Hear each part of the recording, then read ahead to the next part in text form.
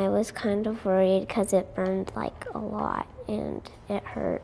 Mother and daughter raced inside to the gas station's eye wash where they flushed Brianna's eyes, but the burning persisted. It was actually kind of scary because um, my mom didn't want my vision to go away, and I was scared that my vision, I wouldn't have good vision anymore.